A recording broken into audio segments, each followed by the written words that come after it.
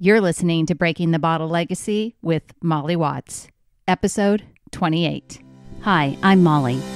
After a lifetime living under the influence of family alcohol abuse, spending more than 30 years worrying about alcohol and my own drinking, believing I had an unbreakable daily drinking habit, I changed my relationship with alcohol forever.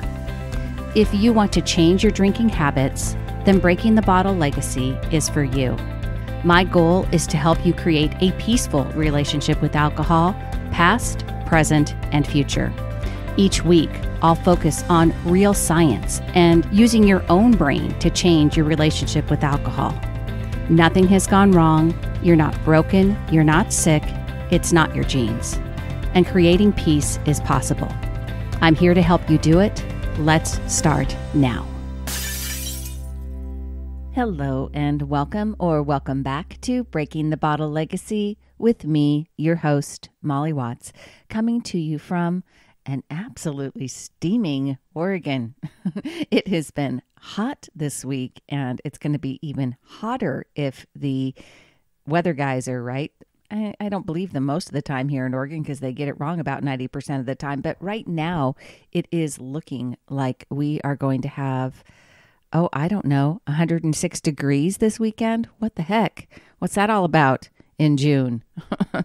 anyway, uh, I still like it warmer than better than rain, so I'm trying not to complain about the about the hot, but it's definitely heating up here in Oregon this week.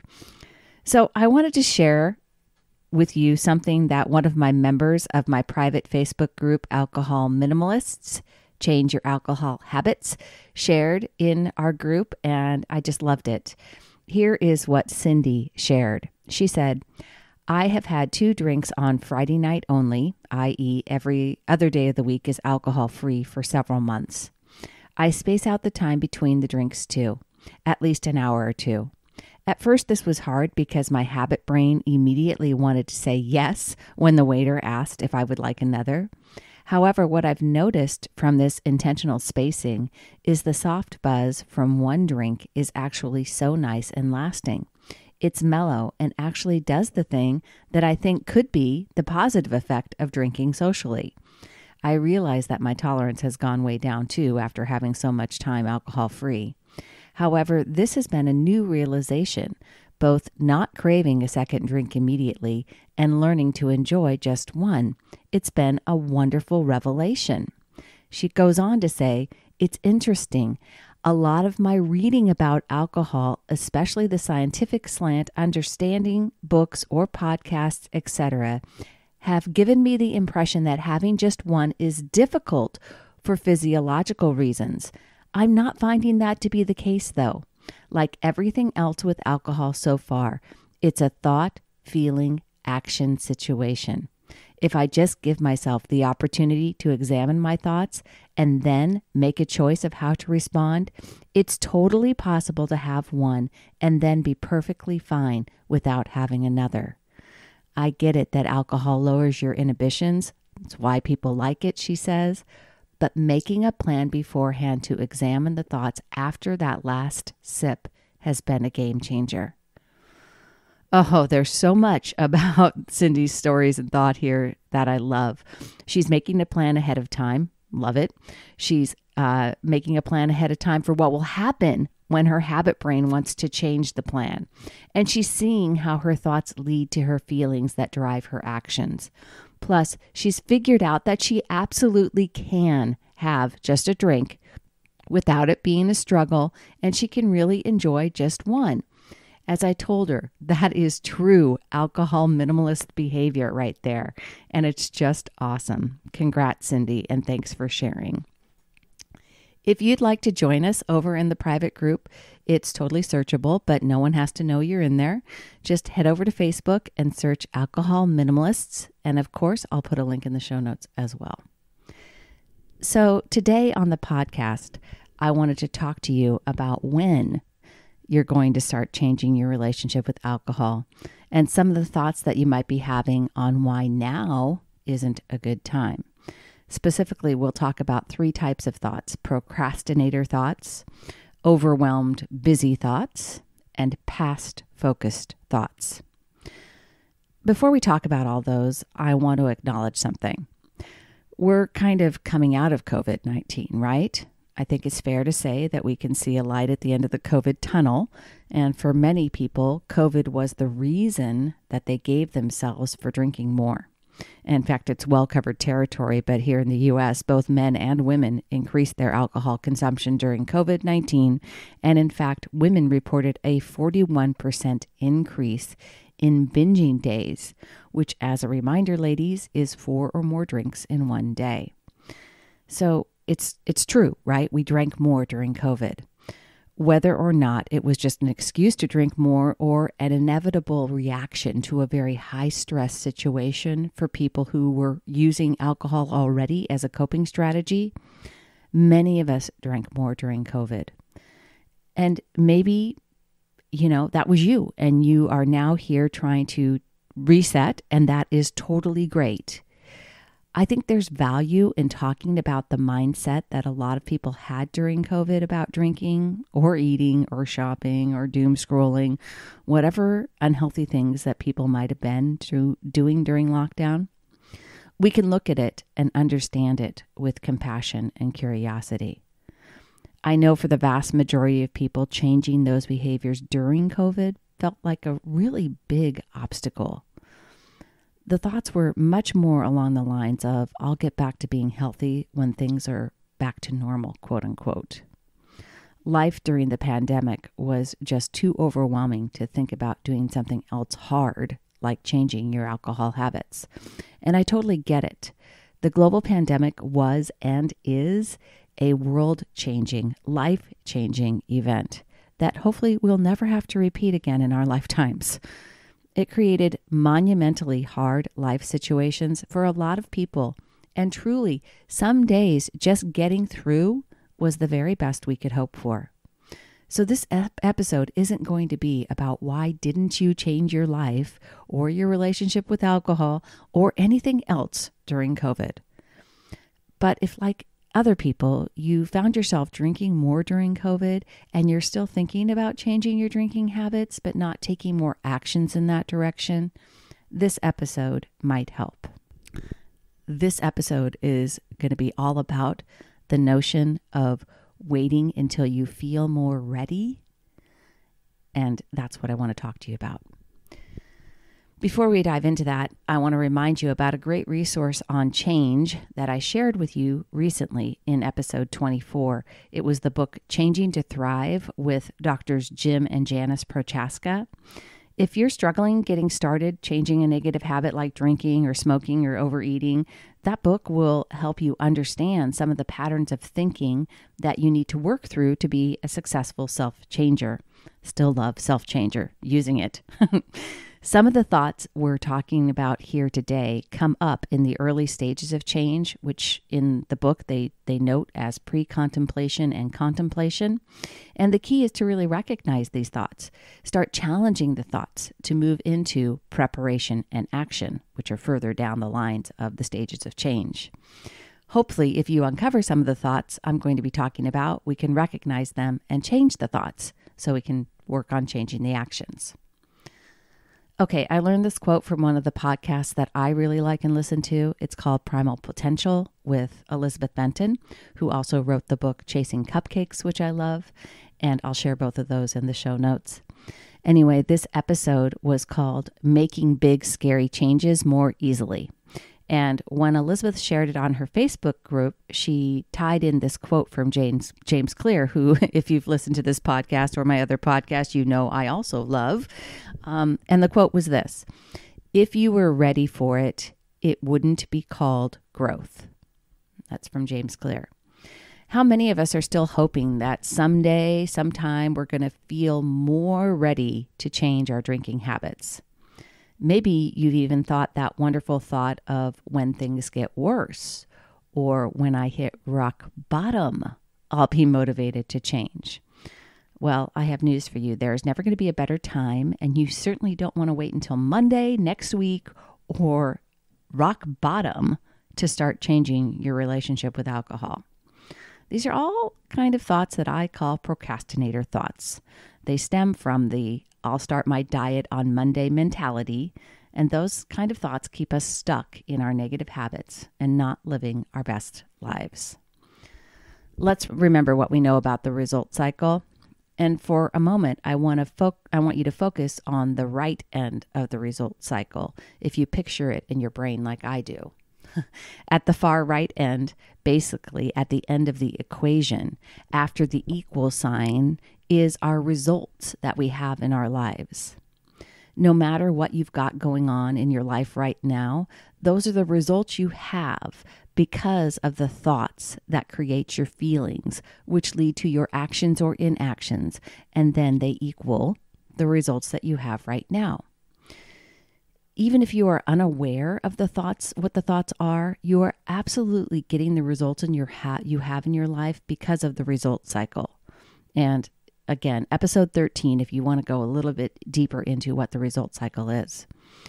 I have a little exercise for you today. I want you to do this if you're if you're having trouble uncovering your thoughts and feelings or if you're having un- trouble understanding how your actions are getting the results that you have in your life. I want you to do this. Go back and look at the last 24 hours of your life, just the last day. Take it right from the beginning after you woke up. What did you do?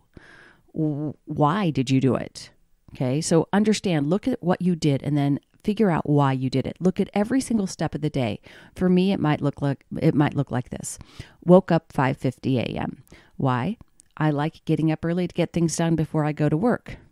I can dig further into that by asking myself, why? Why do things before work? I found that if I wait until after work, I'm less likely to exercise. Okay, why exercise? It's important to me to maintain a healthy lifestyle. Why? Why is it important?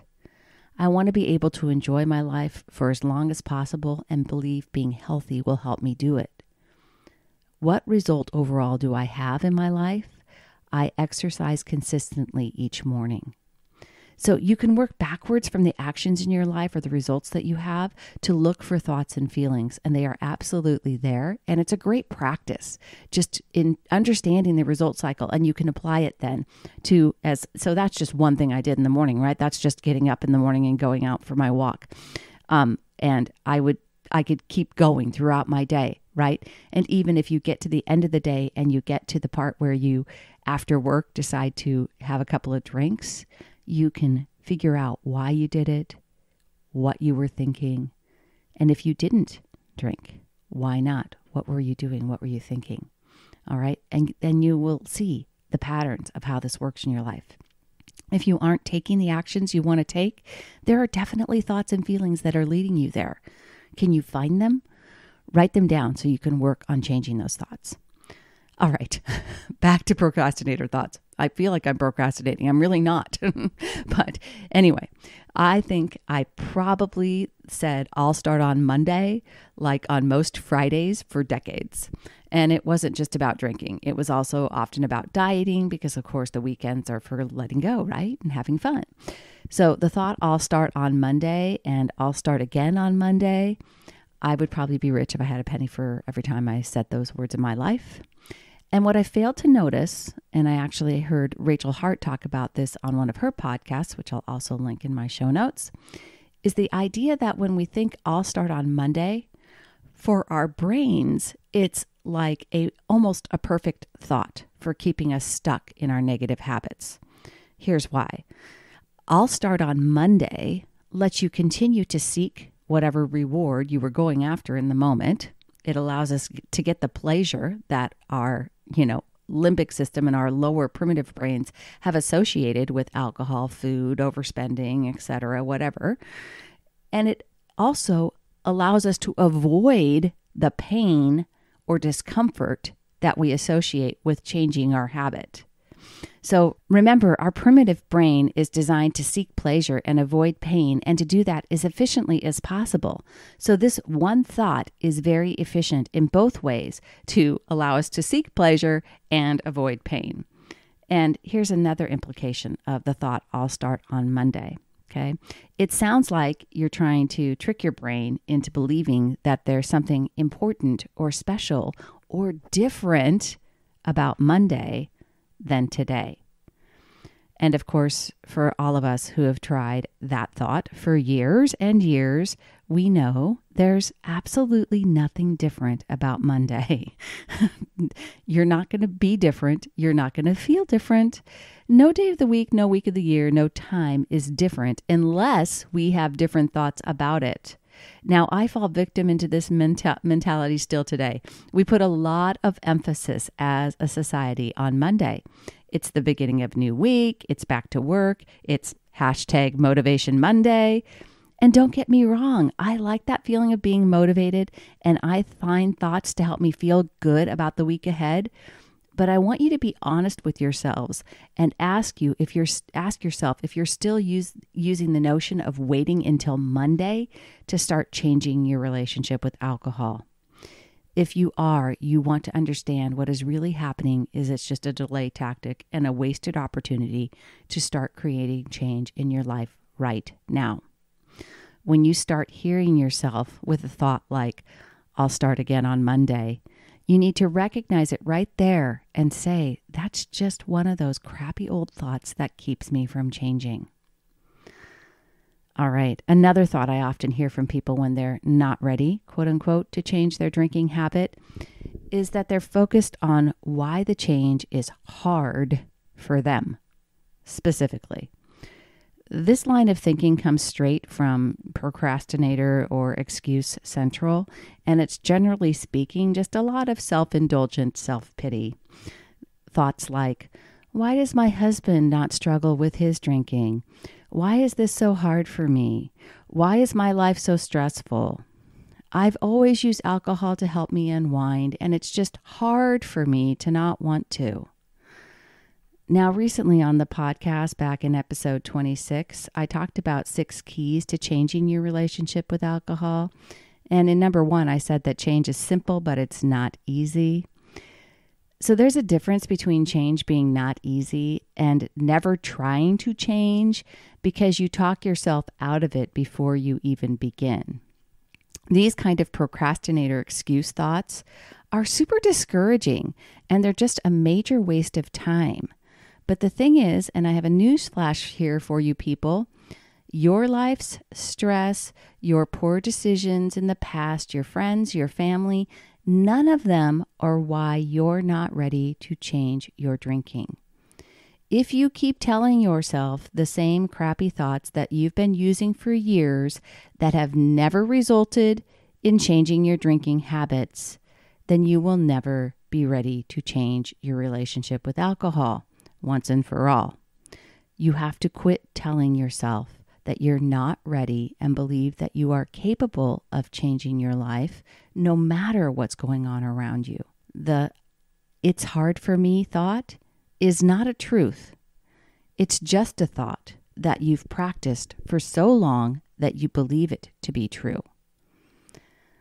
I also want you to understand that you will never start to change if you keep waiting to feel ready.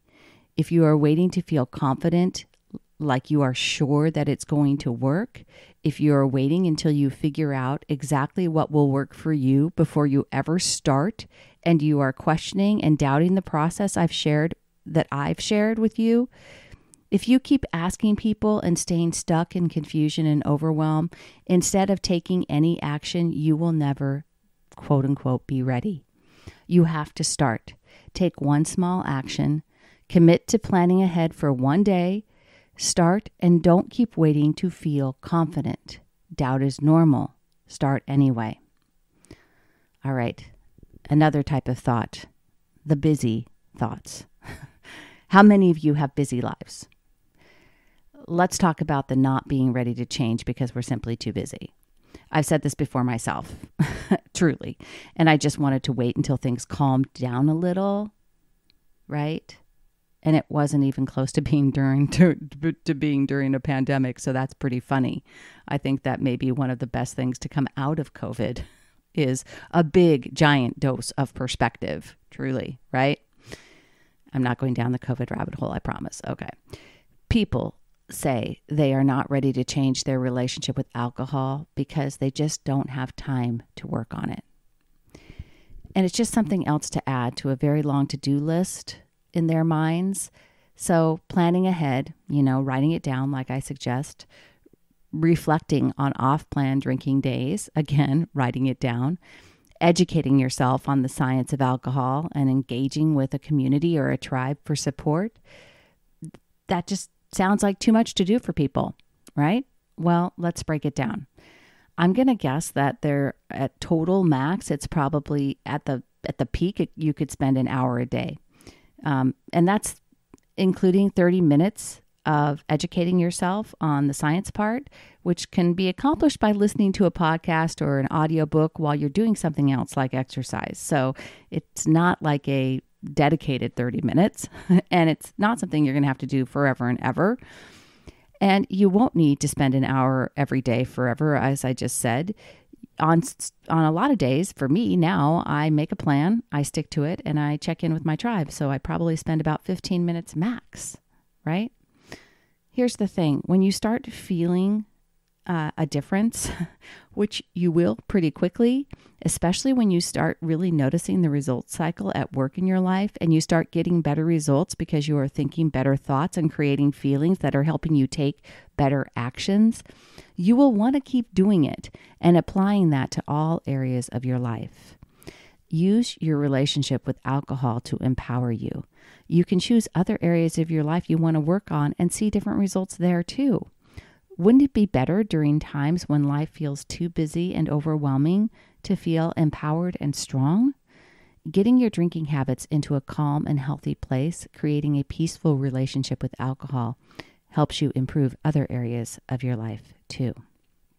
Okay, the last kind of thought I want to help you recognize as one that might be holding you back and making you feel not ready to change is something I call past focused thoughts. I was listening to an audiobook recently, my second time through the book called Personality Isn't Permanent, and I will link that in my show notes as well. And I heard something the author said right in the beginning of the book, which really caught my attention this time. Your past is not the prologue. Here's what Dr. Benjamin Hardy says He says, The only thing special about those who transform themselves and their lives is their view of the future. They refuse to be defined by the past. They see something different and more meaningful, and they never stop fueling that vision. Every single day, they maintain their vision of faith and hope and take courageous steps in that direction, accompanied by much failure and pain.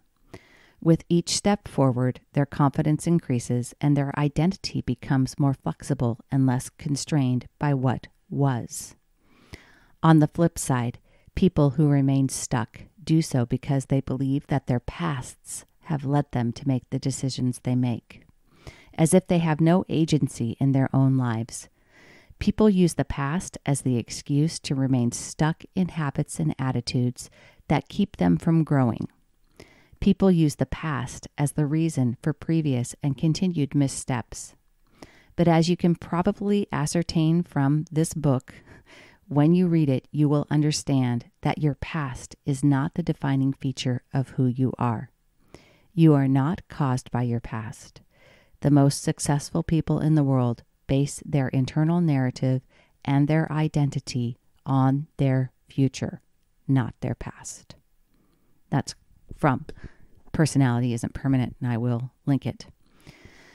I know for me and many other adult children of alcoholics, being able to shift my focus to the future took a lot of intention. Especially at midlife, I was tempted to look backward with regret, like all the time. Like, how come I couldn't have understood all this earlier? But here's the truth about changing my relationship with alcohol it wasn't too late. I had a peaceful and bright future ahead of me, and it was completely worth the work to change my focus. I also had to stop looking backwards because all that was behind me was a lot of ev- evidence that proved to me that I couldn't change. And I had to question all of that about the past and reframe it so I could believe that I before I just never had the right tools. I could keep working. I learned the BA, the behavior map result cycle and started applying it, and I absolutely could be successful. continuing to look backwards was never going to allow me to change. And deciding and choosing to focus on the future, using the result cycle to intentionally direct my life towards a different future was everything for me. And it's possible for you too. Let go of your past and choose to focus on the future. If you're having thoughts that you're not ready, I want you to dig a little deeper and see if any of the thoughts are the procrastinator type, the overwhelmed busy type, or if they're believing in the past, your past variety. And let's work on changing those thoughts and taking different actions. Write the thoughts down so you can see them and become aware of them. We can't change what we can't see. Once you see the thoughts, it's time to start practicing new ones so you can feel motivated to take different actions and get the results you want in your life. Elizabeth Benton, in her podcast, uses a phrase I love. It's transformation is now. And I even used a phrase like that at the end of my podcast because I want to reiterate that transformation doesn't need to wait until tomorrow. It certainly isn't anything about what was going on yesterday, right? And it's not even what's going to happen later today. It's about what's going on right now. You can make a better choice. You can have a better thought right now. So don't wait. Take a small step. You've totally got this. And until next time, choose peace. Thank you for listening to Breaking the Bottle Legacy. This podcast is dedicated to helping you change your drinking habits and to create a peaceful relationship with alcohol. Take something that you learned in today's episode and apply it to your life this week. Transformation is possible. You have the power to change your relationship with alcohol now.